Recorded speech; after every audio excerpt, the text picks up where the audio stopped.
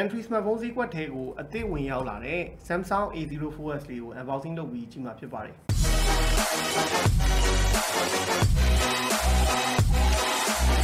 A04s ရဲ့အဓိကထူးခြားလာတဲ့အချက်အဒီကိုပြောရမယ်ဟေ့ဆိုရင်တော့သူရဲ့ display ပိုင်းအနေနဲ့တော့ PLS LCD ကိုအသုံးပြုပေးထားပြီးတော့6.5 inch display မှာပဲပထမဦးဆုံး A0 series တွေမှာ 90Hz refresh rate ပါဝင်လာတဲ့ display ကိုအသုံးပြုရမှာဖြစ်ပါတယ်။နောက်တစ်ချက်အနေနဲ့ကတော့ A0 series တွေကျွန်တော်ထွက်ခဲ့တာ A02 A03s စရှိသဖြင့်ထဲမှာ travel camera 7နဲ့လာတာမှန်ပေမဲ့ A04s မှာတော့50 megapixel main camera ပါဝင်လာတာဟာ A0 series ထဲမှာ megapixel အများဆုံး camera ပါတဲ့ဖုန်းတစ်လုံးလို့ပြောလို့ရတယ်။ဒါ့အပြင်ဖုန်းရဲ့စွမ်းဆောင်ရည်အတွက်လည်း Samsung ရဲ့ in-house chipset ဖြစ်တဲ့8 nanometer architecture နဲ့တိစောက်ထားတဲ့ Samsung A0 850 ကိုထည့်သွင်းပေးလိုက်တာဟာရခင်ထွက်ရှိခဲ့တဲ့ A0 series ဖုန်းတွေထွက် power စားသုံးမှုပိုင်းနဲ့ image processing ဘိုင်းမှာပုံမကောင်းမွန်တဲ့အတွေ့အကြုံကိုခံစားရနိုင်တဲ့ဖုန်းတစ်လုံးလို့ညွှန်လင်းရပါတယ်။ကျန်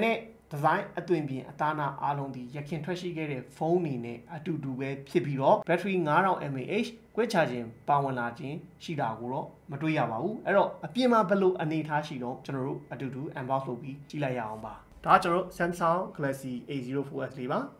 ဖောက်လိုက်အောင်ပါကျွန်တော်လာတာတော့ RAM 464 GB version နဲ့ဝင်ပါတယ်ခင်နော်ကျွန်တော်ခဏလေးဖယ်လိုက်ရအောင်ကြည့်ရအောင် ဒီမဲ့တော့ပုံမှန်တိုင်းပါနေကြပါပါမလို့ဒါ user guide catalog ပေါ့နော်ဒါပဲတော့အရင်မိရင်လေးပဲကဲဒါကတော့เนาะကျွန်တော် texture အသားနာအားလုံးကအရင်ထွက်ထားတဲ့ကျွန်တော်တို့ A03s တို့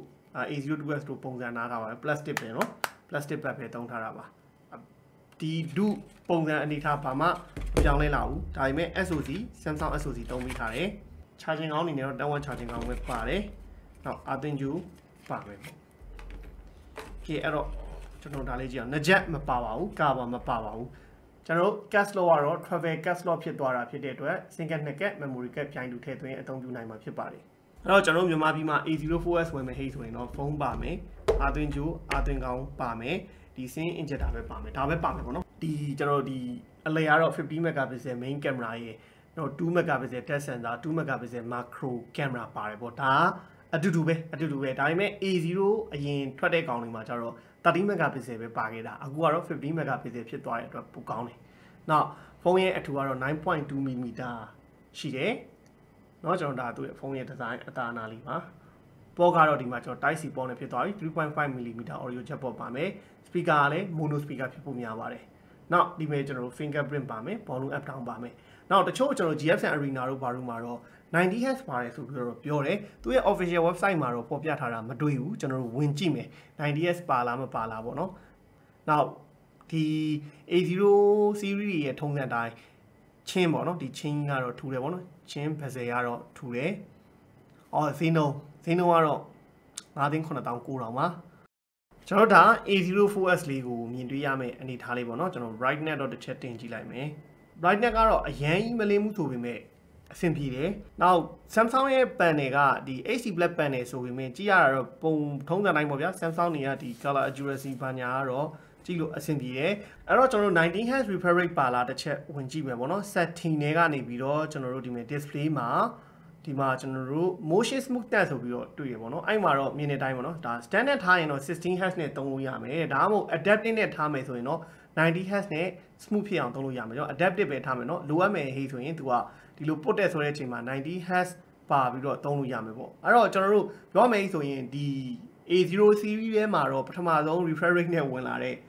အဲ display ပါတဲ့ဖုန်းလို့ပြောလို့ရတယ်90ရဲ့ refresh rate ပေါ့နော် HD plus resolution ဖြစ်နေရလွယ်ပြီအဲ့တော့သူ့ရဲ့အကျဉ်းအားဖြင့်တော့ကျွန်တော်တို့ camera ဘာညာတော့နည်းနည်းဆန်းကျင်တယ်နောက် Samsung ဒီ official လုံးတွေရဲ့ထုံးစံတိုင်း Samsung တွေကတော့ကျွန်တော်တို့ Google service အားလုံးပါပြီးသားနောက် Samsung တွေရဲ့အားသာချက်တစ်ခုဖြစ်တဲ့အဲတခုကကျွန်တော်တို့ဒီ call recording ပေါ့နော် call recording သုံးတဲ့နေရာမှာဆိုရင်လည်းဒီ Samsung တော်တော်များများမြန်မာပြည် official သွင်းတဲ့အလုံးတွေဆိုရင်အတန်ဖမ်းမနေပါသည်လို့မអော်ဘဲနဲ့အတန်ဖမ်းလို့ရတာ တခုကောင်းတယ်အဲ့တော့ကျွန်တော်တို့ပါတဲ့ကင်မရာလေးတွေနည်းနည်းဆက်စုကြည့်အောင်။ဩပြောမိနေတာ selfie camera 5 megapixel selfie ပဲပါတယ်ပေါ့နော်။ဒါကြောင့်သူပုံမှန် main camera ရိုးရိုးကင်မရာလေးကိုစမ်းကြည့်ပါမယ်။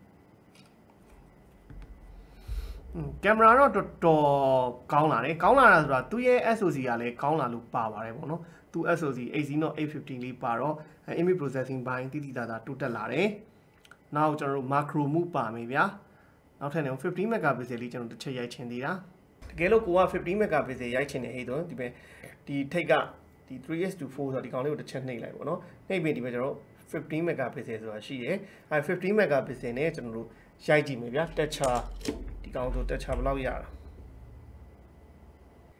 အဲ့တော့သူတက်ချာအဲ့တော့အဲသူ့ရဲ့ A04S ကကျွန်တော်တို့ပြောရမယ်ဟိဆိုအရင်ထွက်ခဲ့တဲ့ A0 series ထဲမှာတော့ကင်မရာတော်တော်ကောင်းလာတဲ့ ဖုန်းတစ်လုံးလို့ပြောလို့ရတယ်။နောက်ဒီ portrait ပေါ့နော် portrait အနေထားဘယ်လိုရှိတော့ portrait လေးအယုတ်လေးကိုပဲကျွန်တော် portrait လေးစမ်းရိုက်ကြည့်လိုက်ပါမယ်။အာ portrait ပုံရိပ်လေးလည်းမစိုးဘူးဗျာเนาะဒါကျွန်တော် low light အနေထားမှာဟိုသူ့ရဲ့ portrait ပုံရိပ်လေးကလည်းဒါရိုက်တာ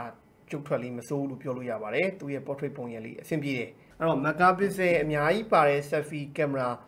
မဟုတ်ပေမဲ့လားရုပ်ထွက်လေးကတော့မစိုးဘူးဒါပေမဲ့ဒီကျွန်တော်တို့ low light ပေါ့နော်ဒါကျွန်တော် studio can ထဲမှာမီးလင်းရောက်နေရိုက်တဲ့အချိန်မှာတော့သူ့ရဲ့ အဲဒီတေးရတာတော့နည်းနည်းနည်းတယ်လို့ခံစားရတယ်ဒါ5 megapixel ကြောင့်လည်းဖြစ်ကောင်းဖြစ်နိုင်ပါအပြင်မှာအလင်းကောင်းကောင်းရတဲ့အချိန်မှာတော့ဒီတက်ပုံရိပ်ကောင်းကောင်းရနိုင်ပါတယ်နောက်ဗီဒီယိုအနေနဲ့ကတော့ကျွန်တော်တို့ဘလောက် resolution နဲ့ရိုက်လို့ရတော့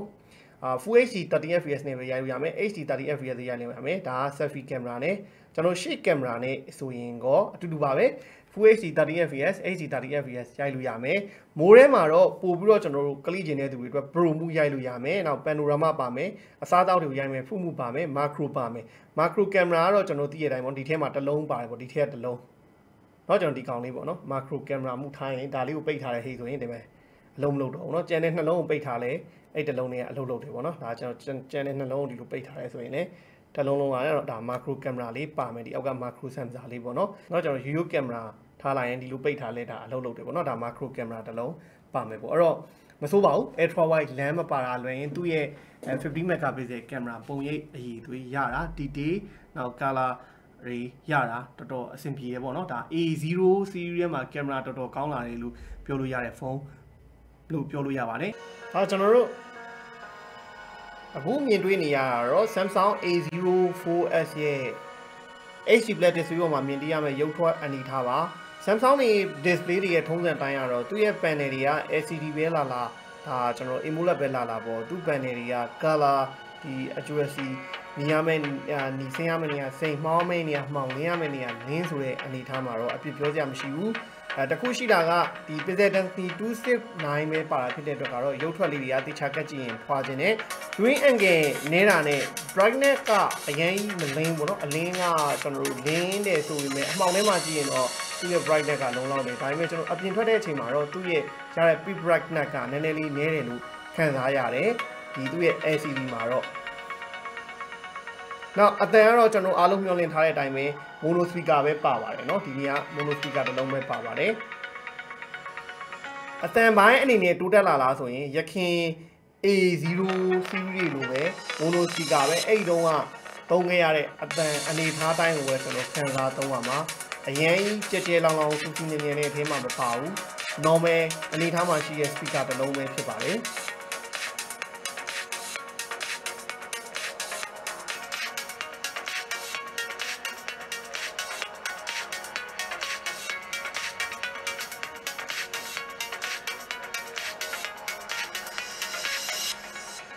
ကျွန်တော်အခုမြင်တွေ့ခဲ့ရတာတော့ Samsung A04s မှာ